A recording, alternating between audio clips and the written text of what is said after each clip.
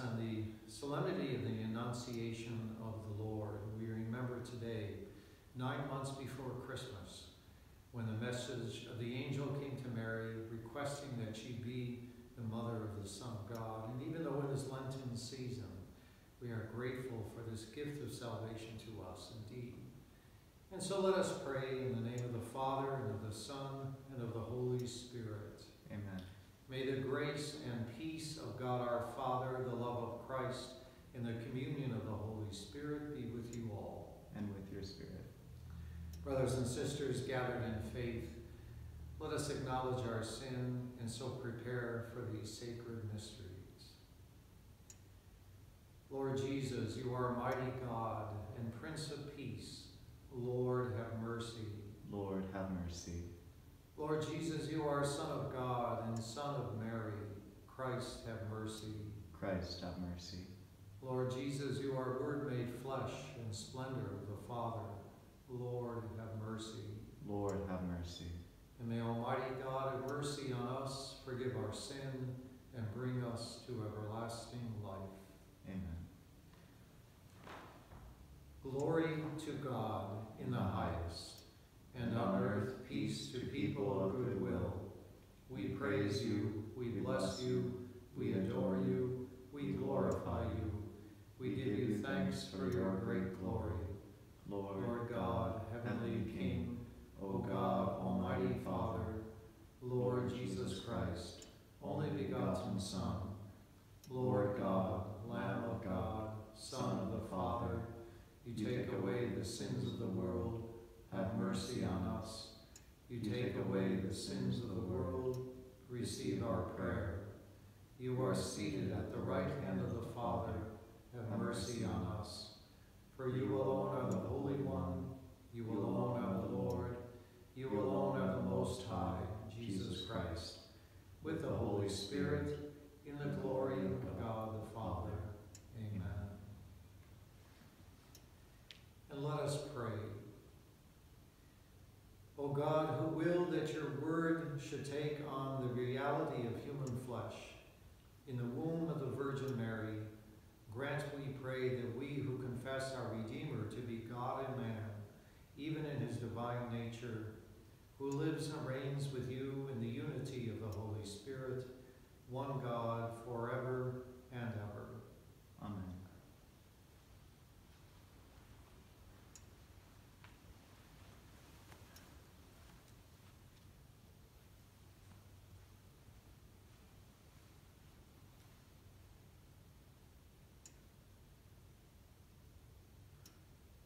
A reading from the book of the prophet Isaiah. The Lord spoke to Ahaz, saying, Ask for a sign from the Lord your God. Let it be deep as the netherworld, or high as the sky. But Ahaz answered, I will not ask, I will not tempt the Lord. Then Isaiah said, Listen, O house of David. Is it not enough for you to weary people? Must you also weary my God? Therefore, the Lord himself will give you this sign. The virgin shall be with child and bear a son, and shall name him Emmanuel, which means God is with us. The word of the Lord.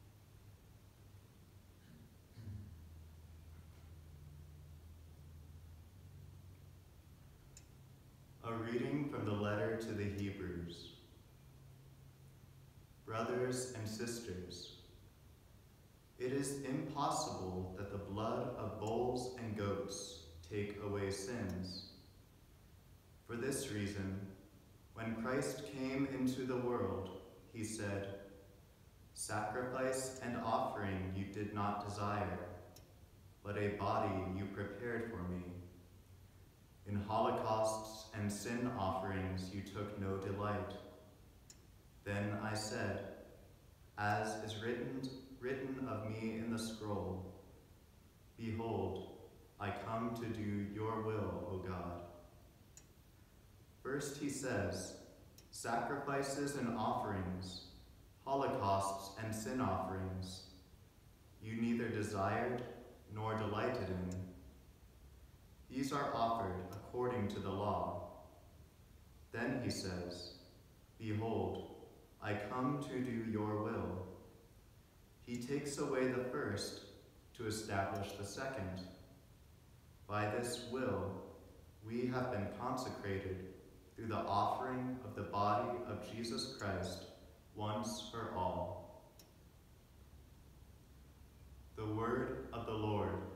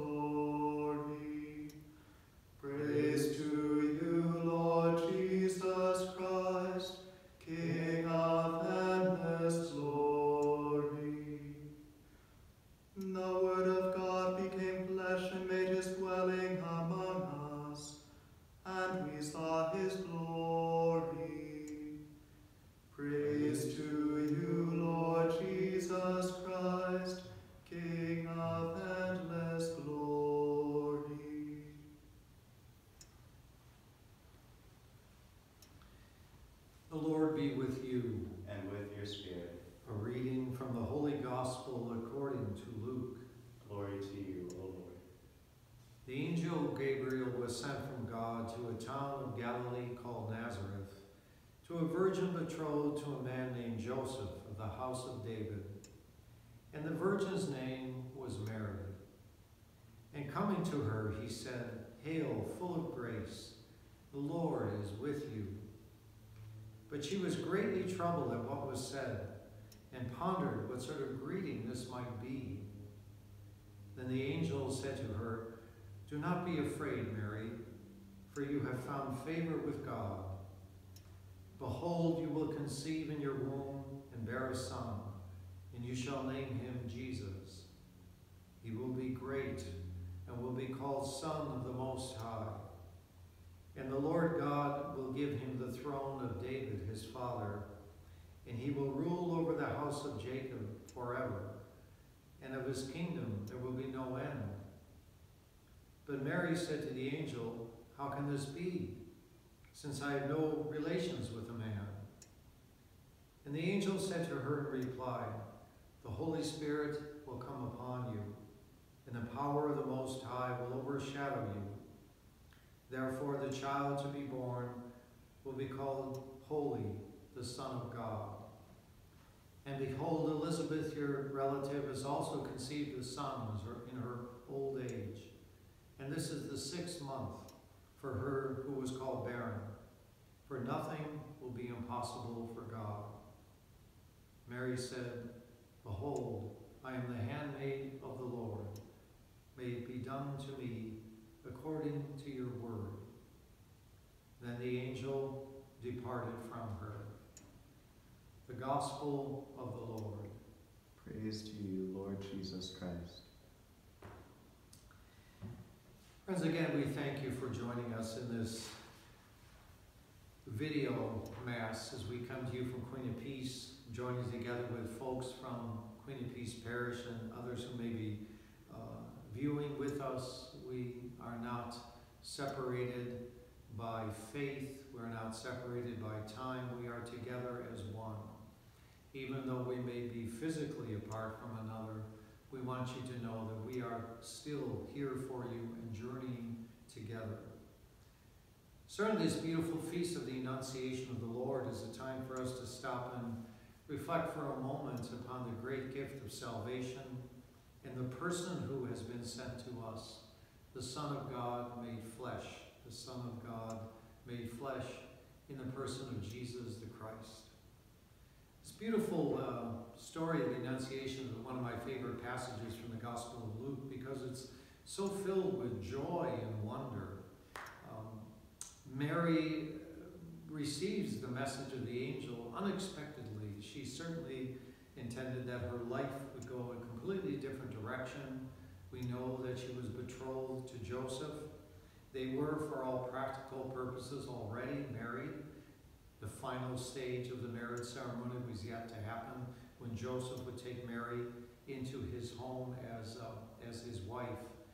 And suddenly God steps into this moment. He intervenes in a time and place and simply asks of Mary, through the message of the angel Gabriel who comes, that all the plans that she had, all the hopes and dreams that she may have had as a typical Jewish mother of the time, now be changed profoundly in a way that not even Mary understood completely what the angel was asking of her.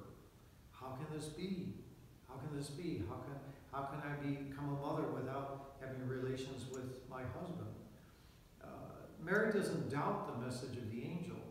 She asks a very normal question because what God asks of Mary is beyond her understanding. And so God simply asks Mary to the angel in a very polite way Mary, would you do this? Mary, would you do this for God? Mary consents to the will of the angel, to the message, and embraces the will of God. May it be done to me according to your word. With that consent was filled all kinds of unknowns, all kinds of uncertainties. Mary did not comprehend what the, what the future ultimately would be.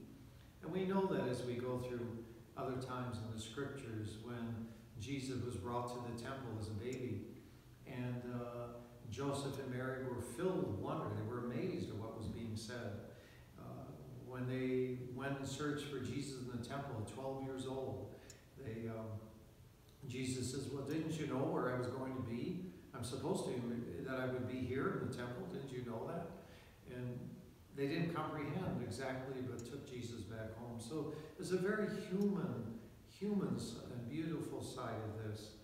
But the message comes to Mary, and with her consent, with her yes, human history was forever changed.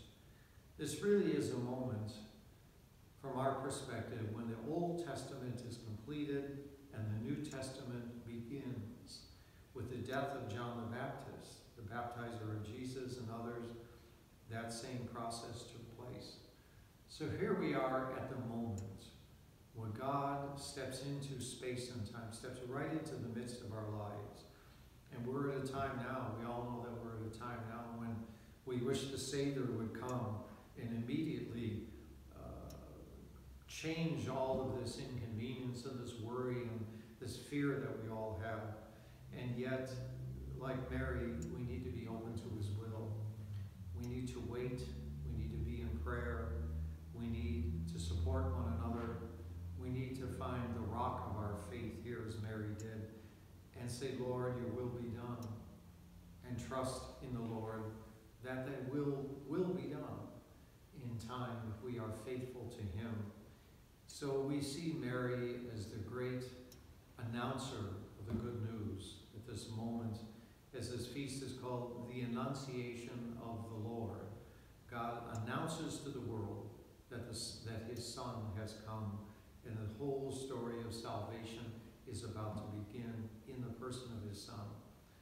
So let's announce to the Lord, even in this time of confusion and fear, let's announce good news to those around us and support one another and have Christ always as the center of our faith, that we announce him and we announce his promise to the world of God made human in hope indeed for all of us. So friends, let's together profess our faith.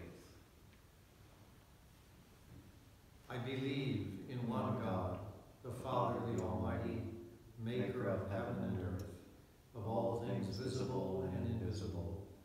I believe in one Lord Jesus Christ, the only begotten Son of God, born of the Father before all ages, God from God, light from light, true God from true God, begotten, not made, consubstantial with the Father, through him all things were made. For us men, for our salvation, he came down from heaven, and by the Holy Spirit was incarnate of the Virgin Mary, and became man. For our sake he was crucified under Pontius Pilate. He suffered death and was buried, and rose again on the third day, in accordance with the Scriptures. He ascended into heaven, and is seated at the right hand of the Father. He will come again in glory to judge the living and the dead, and his kingdom will have no end. I believe in the Holy Spirit, the Lord, the giver of life, who proceeds from the Father and the Son, who with the Father and the Son is adored and glorified, who has spoken through the prophets. I believe in one holy Catholic Apostolic Church. I confess one baptism for the forgiveness of sins, and I look forward to the resurrection of the dead and the life of the world to come. Amen. Trusting in God as Mary herself always did, let us bring our needs before the Lord this day.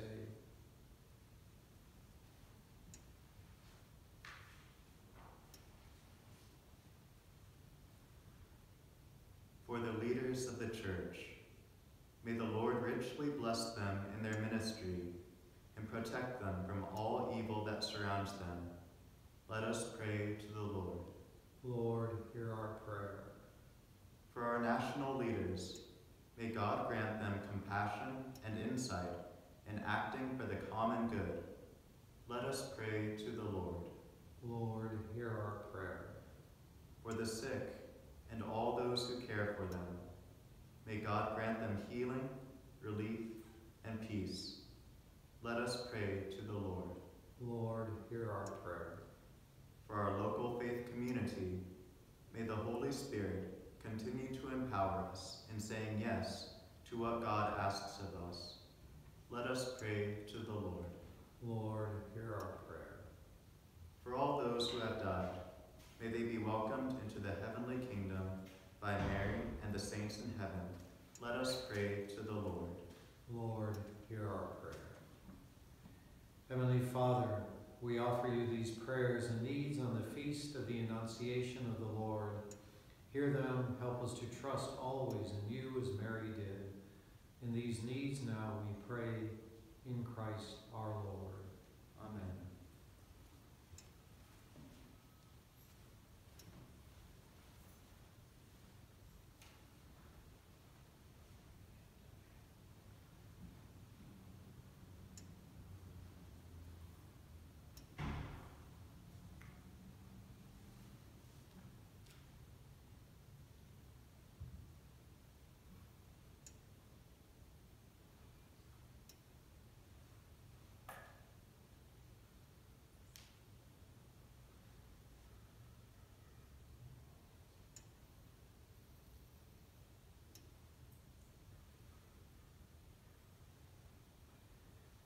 Blessed are you, Lord God of all creation, for through your goodness we have received the bread we offer you, fruit of the earth and work of human hands.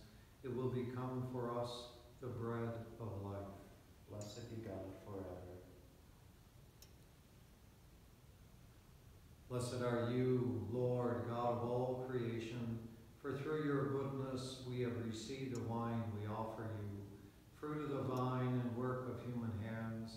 It will become for us our spiritual drink. Blessed be God forever.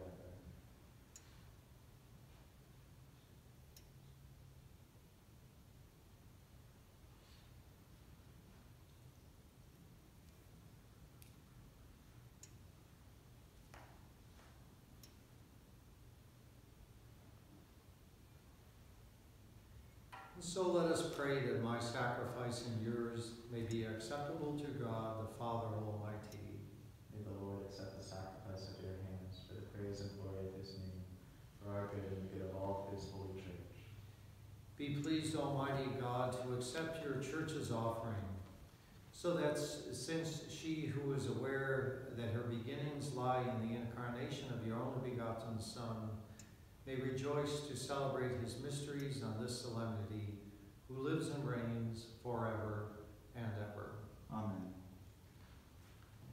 The Lord be with you. And with your spirit, Lift up your hearts. we lift them up to the Lord. And let us give thanks to the Lord our God. It is right and just.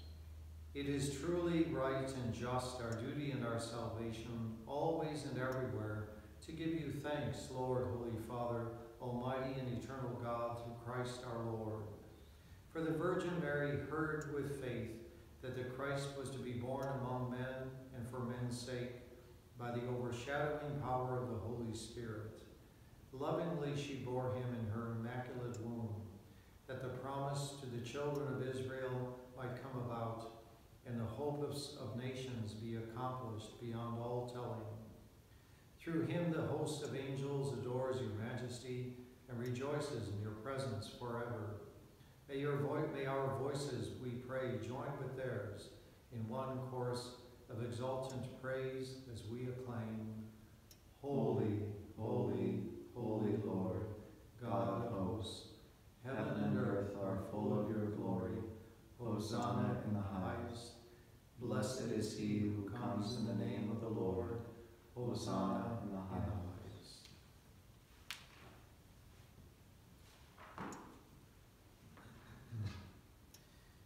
You are indeed holy, O Lord, and all you have created rightly gives you praise.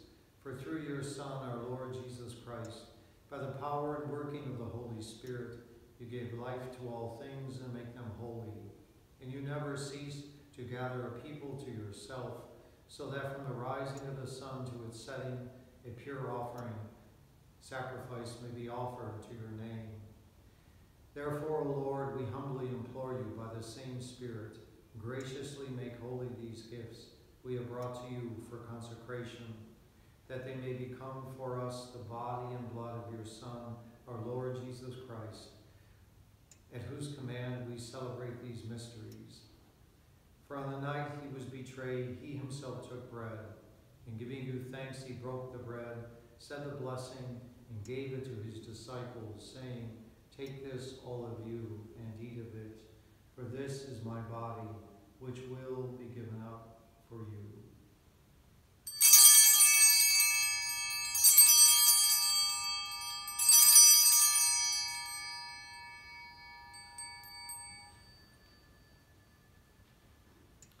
In a similar way, when supper was ended, he took the chalice, and giving you thanks, he said the blessing, gave the chalice to his disciples, saying, Take this, all of you, and drink from it. For this is the chalice of my blood, the blood of the new and eternal covenant, which will be poured out for you and for many for the forgiveness of sins. Do this in memory of me.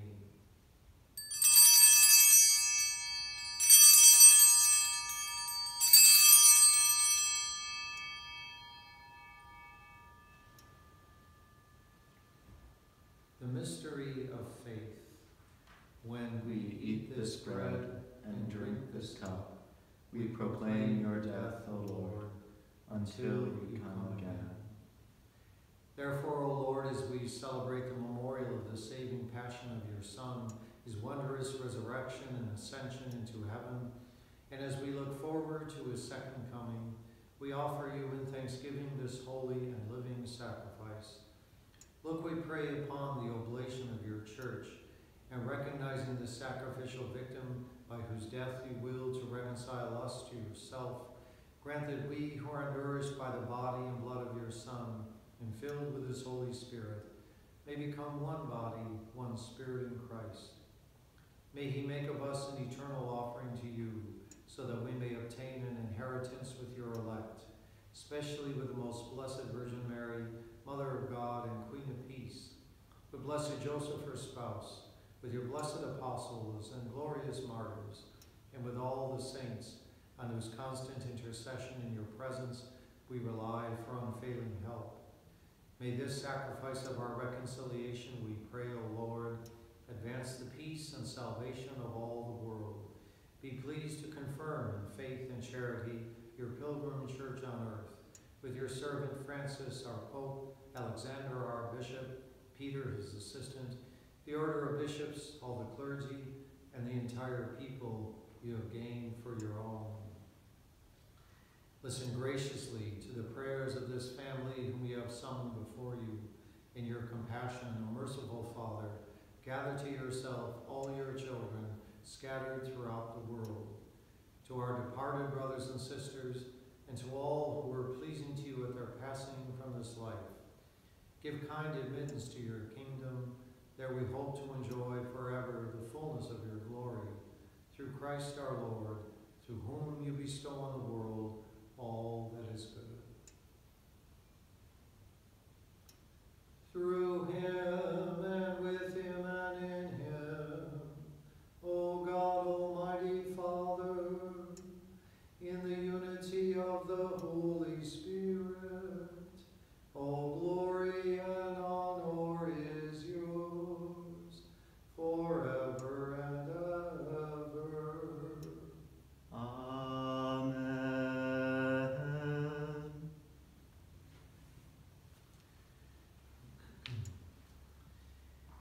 At our Savior's command and informed by divine teaching, we now dare to say, Our Father, who art in heaven, hallowed be thy name. Thy kingdom come, thy will be done, on earth as it is in heaven. Give us this day our daily bread, and forgive us our trespasses, as we forgive those who trespass against us. And lead us not into temptation, but deliver us from evil. Deliver us, Lord, we pray, from every evil. Graciously grant peace in our days, that by the help of your mercy we may be always free from sin and safe from all distress, as we await the blessed hope and the coming of our Savior, Jesus Christ. For the kingdom, the power, and the glory are yours, now and forever. Lord Jesus Christ, who said to your apostles, Peace I leave you, my peace I give you. Look not on our sins, but on the faith of your church, and graciously grant her peace and unity in accordance with your will, who live and reign forever and ever. Amen. And may the peace of the Lord be with you always. And with your spirit, Lamb of God, you take away the sins of the world. Have mercy on us. Lamb of God, you take away the sins of the world. Have mercy on us. Lamb of God, you take away the sins of the world. Grant us peace.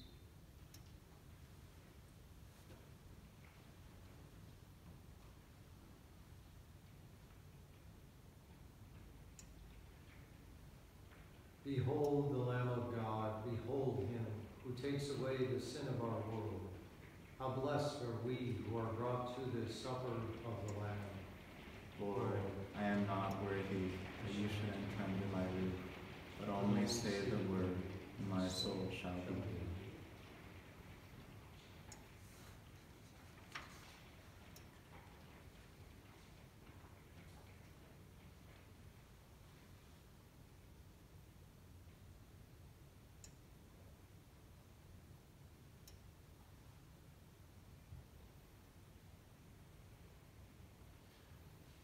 I know we long for a hunger for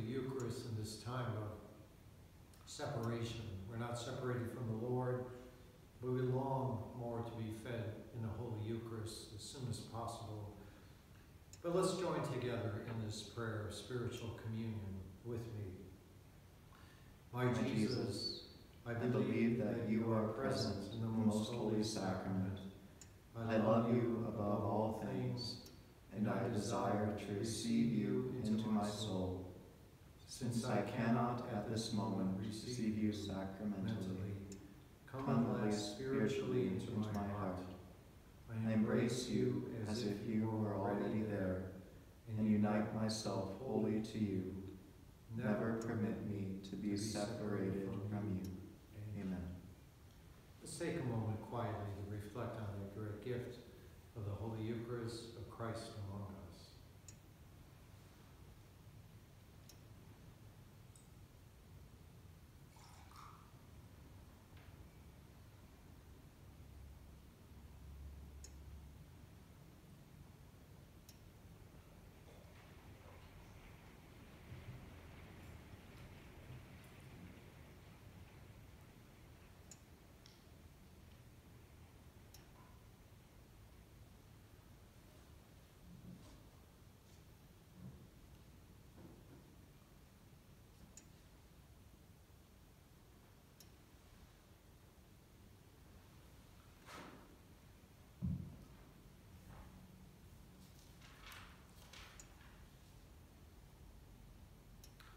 And let us pray.